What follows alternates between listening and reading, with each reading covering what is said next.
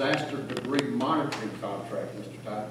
Yes, sir. We discussed, this is also a pre-event, no-cost contract um, that we have in place. If we activate the um, debris removal contract, then we would also authorize the monitors, and they come in and act on our behalf to make sure that uh, the debris removal contractors are um, following the the FEMA guidelines, they're following the scope of work, um, and that we don't, that we don't pay for anything that, that they weren't authorized to do.